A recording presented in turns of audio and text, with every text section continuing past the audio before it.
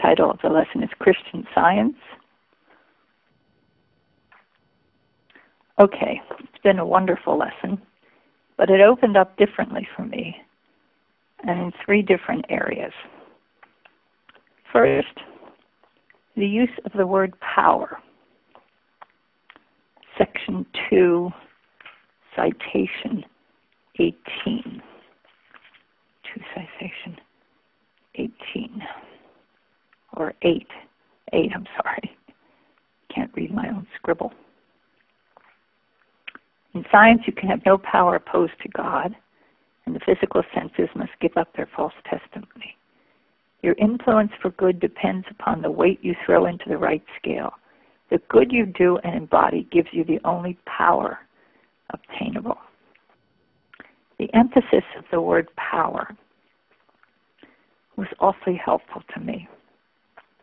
It occurs again a little later on um, in section four. Um, and it's Paul, I think, section four. The reason power is so important, always get the sense of love and principle as the base for the operation of Christian science. But now, Paul's talking, section 4, 16 citation. And my speech and my preaching was not with enticing words of man's wisdom, but in demonstration of the Spirit and of power. And the reason it was so important to me is that what it seems to be happening in the world is that people are trying to get power over other people. And the method is might makes right. And Mrs. Eddy stands very clearly here on the fact that power comes from God, from Spirit.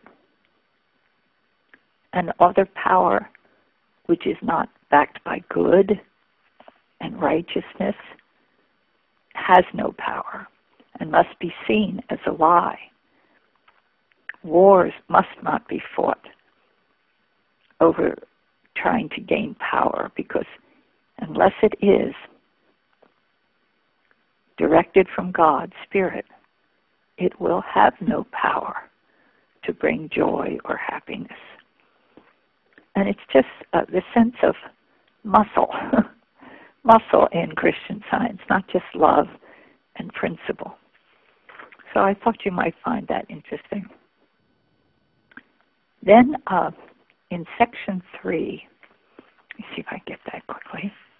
In section three, the interpretation of proverb and prophecy was very important to me.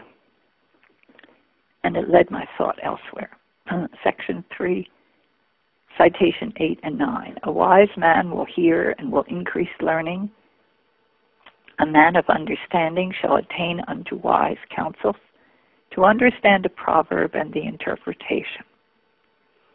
We have also a more sure word of prophecy whereunto ye do well that ye take heed, as unto a light that shineth in a dark place, until the day dawn and the day star arise in your hearts.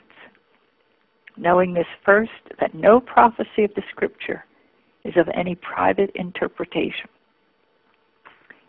Now, the use of the word prophecy in proverb and counsels made me turn to the manual and to the rule for motives and acts, I think was very well pointed up here for my study. And I found in studying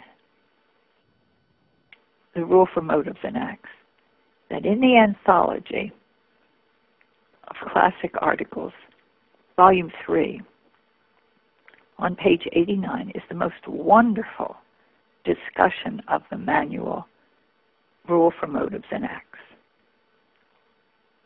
The title is To Avoid Doing It Wrongly, Do It Rightly.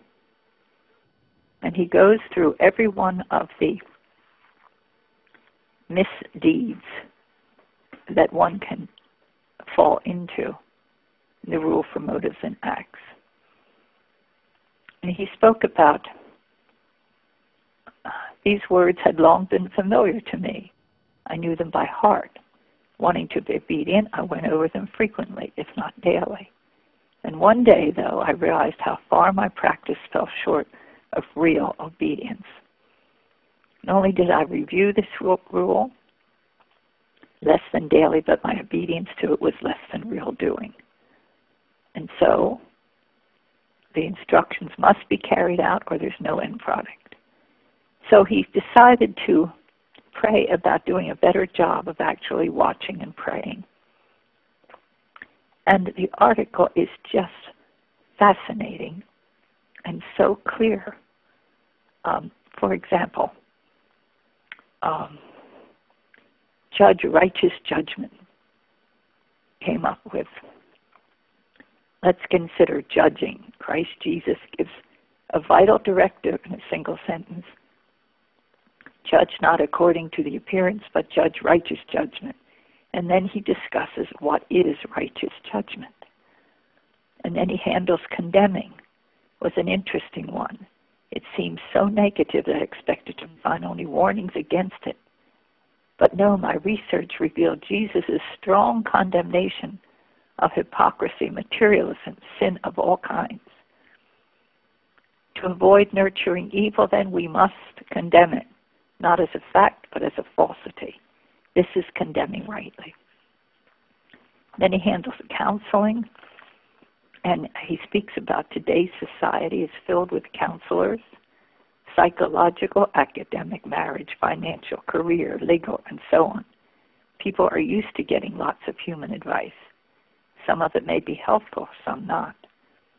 One way to check to see if we're giving merely a human opinion has a good deal to say about personal opinions. Excuse me, I won't stay much longer on this. Much favorable comment. Perhaps such opinions would fit what the psalmist calls the devices of the people. The Lord bringeth the counsel of the heathen to naught he maketh the devices of the people of none effect. The counsel of the Lord standeth forever, the thoughts of his heart to all generations. That was very important to me because when I was up at my clubhouse here, and they had the list of activities coming up, there was one that sent me into a tailspin. They're having someone come to talk about hypnotism as a medical device to produce health. And I just cringed, as you can imagine. And so this manual that Mrs. Eddy makes so clear what we will see as evil and condemn as evil. And not as something that's strong and we're condemning. It's only illusion. And that was a great was a great comfort to me to know that our work in Christian science undoes all this idea of one person's power over another person or people as power over other people through this hypnotism, ancient and modern. So uh, the lesson meant a great deal to me because it got me to the to the manual, and he handles also every one of the uh, what we're not supposed to do. He handles prophesying, to fear the future, to expect some harmful outcome, to brood over what if, to predict any development of evil, would be to prophesy erroneously. And then he explains how a prophet is a spiritual seer, disappearance of material sense before the conscious facts of spiritual truth. And he had a healing from this, which I think is worthwhile mentioning. A week or two after my study, I found myself suddenly besieged with all the symptoms of a very heavy cold or influenza Oh, no, not again, I reacted, as the prospect of an all too familiar pattern of suffering flooded my thinking.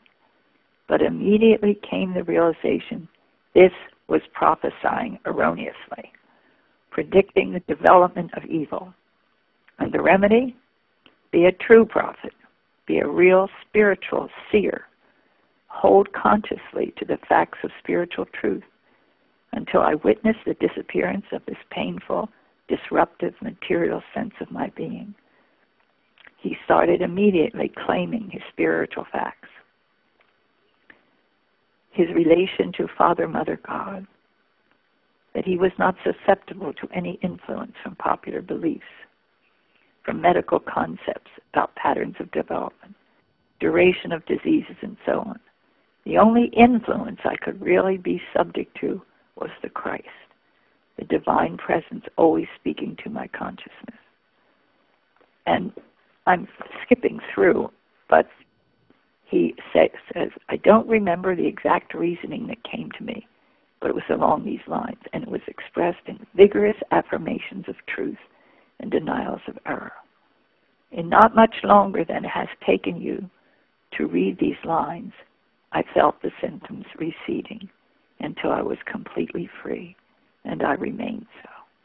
So I think, I think the manual at the heart of Christian Science is a very important thought that came to me from this lesson. And um, I think that the selection of that particular article for the anthology was really very splendid. The article itself on page 90 has a quote from the lesson, which I think is very um, nice dovetailing. And it's that wonderful quote, and it's on the, I guess, this second full paragraph in the first column of page 90, and it's talking about influencing. The remedy is to be sure we're influencing rightly by doing good, actually embodying good by living more consistently as the very evidence of God. As science and health puts it, your influence for good depends upon the weight you throw in the right scale. The good you do and embody gives you the only power obtainable. From page 192 and from a, a, a citation. And I was shocked at that when I read the article, and I thought this was right for me to think about the the manual and, motives and acts. That was that was a, a good guidance that I think I got. Okay, now one last thing. I said there were three things that I got. And that is patient four in science and health. Yes, it is. It's the expression economy of being. Now, I've worked with that before, but I just wanted to see how it fit into the subject of Christian science.